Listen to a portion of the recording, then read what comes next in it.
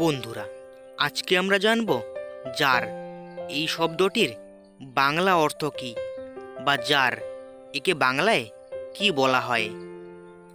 তো যার এই শব্দটির বাংলা অর্থ হবে বয়াম বা ঘোড়া।